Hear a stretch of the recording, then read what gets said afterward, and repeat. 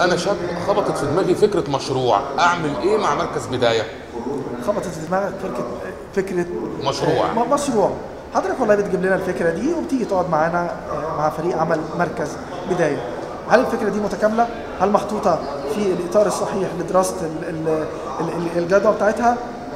محطوطة بس محتاجة بعض الضبط في الجانب المالي أو الجانب القانوني.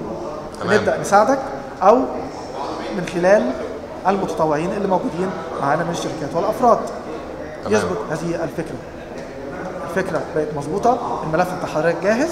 بنبدأ نوجه حضرتك للمحور الخاص بالنفاذ للتمويل.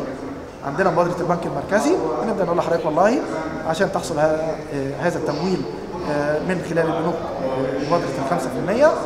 آه، والله محتاج تحضر الأوراق واحد اثنين ثلاثة وتحصل على هذا التمويل من خلال هذا هذه ال- البنوك اذا دور حضراتكم بينتهي عند حصول صاحب الفكرة على التمويل. حصول صاحب الفكرة على التمويل وأيضا ما بعد التمويل. حضرتك قبلتك عقبات ما بعد التمويل. إحنا موجودين في كافة نقول ال life cycle أو دورة حياة المشروع.